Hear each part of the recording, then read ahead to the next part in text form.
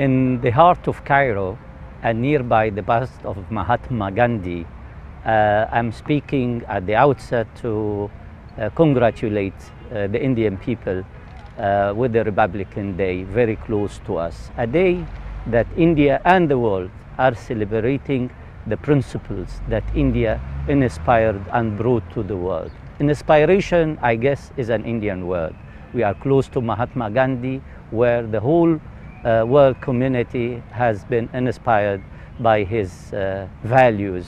Uh, he belongs to us all.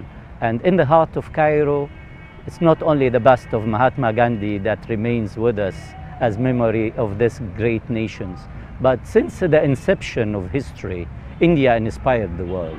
And nothing really more inspiring uh, than uh, the democracy, uh, a principle that all nations worldwide try to adhere itself to. Capitalism, democratic capitalism, communism, democratic communism. But the true democracy that India brought to the world stage is so important and it is also with inspiration.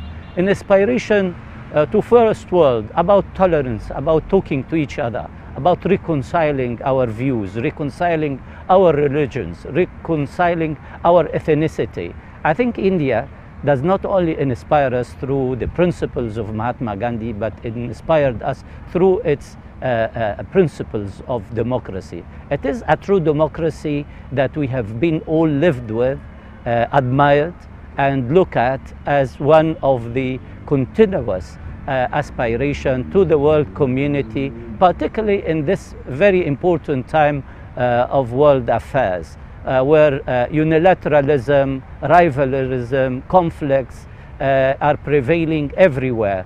It is through reconciliation, internal uh, peace and security, uh, uh, and pacification of international relations, multilateralism. So no other place than India that can bring you uh, with those principles. I think the, uh, uh, since the inception of history, India has inspired uh, the world. A civilization that encompasses many differences and it overcome it. And India, through the colonial era, has inspired many uh, of us in the third world. And India today does not really keep its principles within border, does not keep its knowledge within its border. So India democracy, it's not an internal issue.